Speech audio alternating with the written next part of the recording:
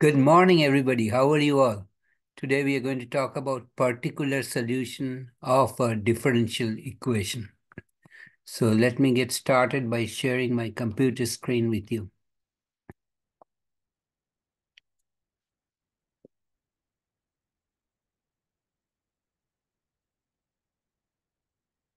Find the particular solution of the differential equation square root of x squared plus 4 multiplied by dy dx. dy by dx is equal to 1, where x is greater equal to minus 2y of 0.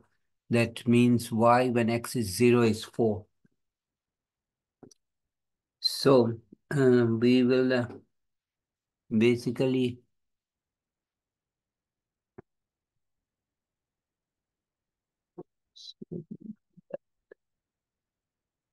the solution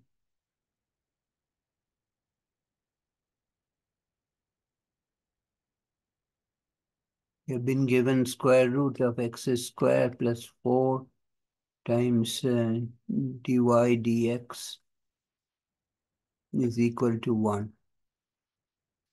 Dividing by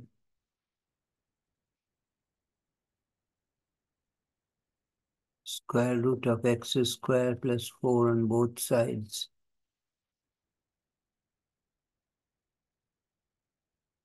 We get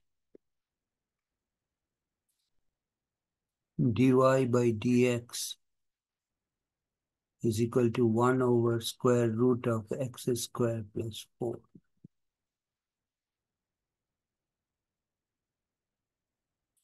Uh, now we will do some substitution. Substitution. Let x is equal to 2 tan theta. Okay. Then x squared plus 4 is equal to 2 tan theta tangent of theta square plus 4 and that is equal to 4 tan square theta plus 4 and if I take the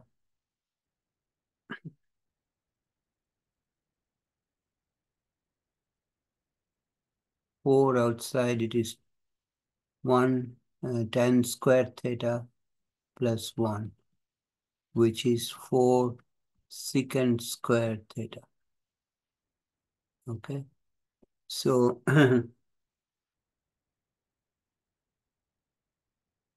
x square plus 4 is equal to 4 is equal to 4 secant square theta. And if I do the derivative, I get d uh, no and uh, x we substituted x is equal to 2 tan theta. So dx is equal to 2 is equal to 2 derivative of tan theta is secant square theta d theta okay so that's dx so now we can write uh, dy. We know dy. dy. So let me create some space before I write anything. A little bit up. So dy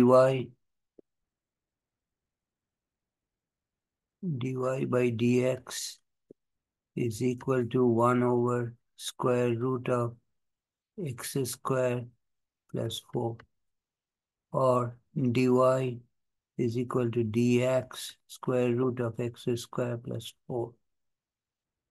Okay, so we can write dy which leads to dy is equal to for dx I will write 2 secant square theta d theta and square root of x square plus 4 will be square root of 4 secant square theta.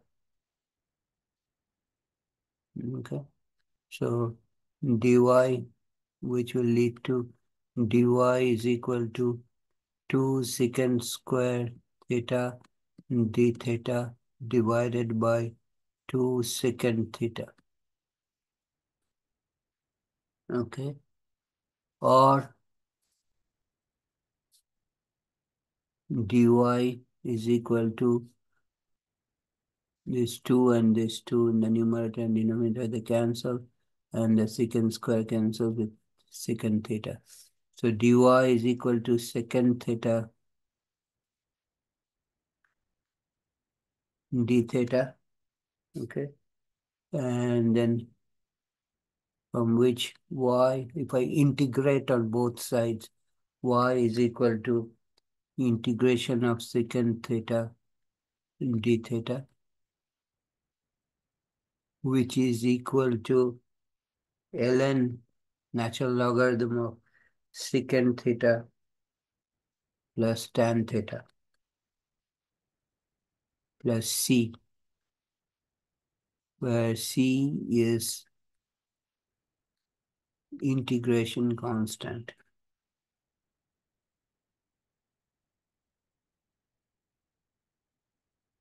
Integration constant.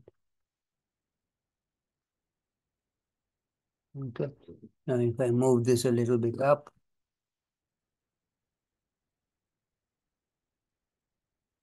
we have uh, y is equal to ln of absolute value of secant theta plus tangent of theta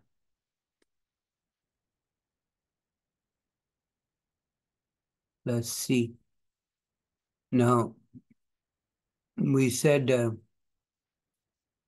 x is equal to tangent of theta. Sorry, 2 tangent of theta. So, which leads to tangent of theta is equal to x by 2. Now, secant square theta is equal to secant square theta plus tangent square theta is equal to 1. So, x by 2 square plus tangent square theta is equal to 1. Moving up a little bit, uh, we can write x square by 4 plus tangent square theta is equal to 1 or tangent square theta is equal to 1 minus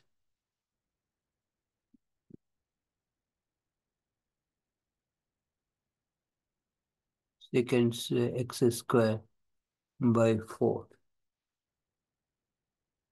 Okay.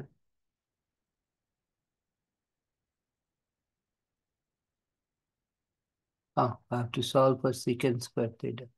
So I did a mistake. Pardon me, I'll correct it.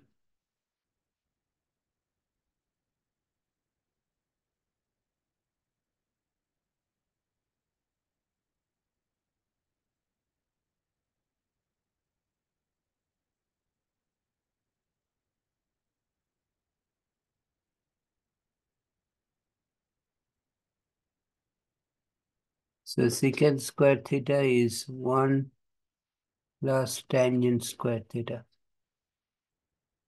So secant square theta is equal to 1 plus x square by 4. Okay. Or secant square theta is 1 is 4 plus x square divided by 4.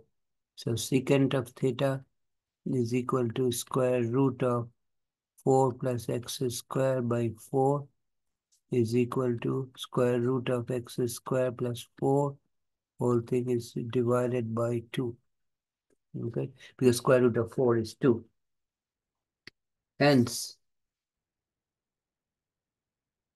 hence y is equal to ln.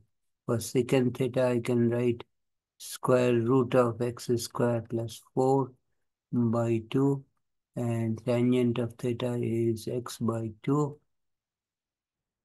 plus c. Okay. And then if I want to remove the 2 from the denominator, I will just change the integration constant because ln x square root of x square plus, plus 4 by 2 is ln square root of x square plus 4 minus 2. Similarly, ln of x by 2 is ln x minus ln 2. So I have minus 2 ln 2 that basically can be piled in the new integration constant C1. So basically I get y is equal to ln square root of x square plus 4 plus x plus C1. And that's a, okay.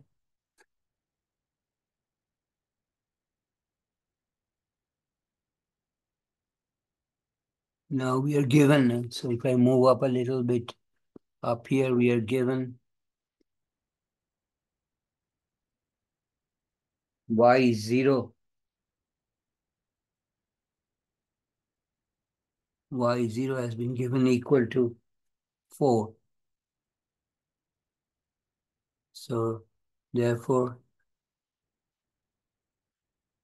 4 is equal to ln square root of this is x number. Okay. ln square root of x square plus 4x is 0 is um, square root of 2. Square root of 4 is 2 plus 0 is 2 basically plus C1 or C1 is equal to 4 minus ln2. Okay. Thus the final solution is y is equal to ln absolute, uh, absolute value of square root of x square plus 4 plus x plus 4 minus ln2 for C1. So this is your final solution.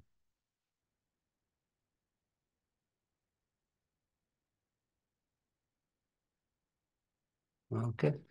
So I will stop here today. If you have any question or comment, write me a note. I'll get back to you as soon as possible. And if you like this video, please give me a thumbs up. I appreciate that. If you like this video, please share your this video with your friends.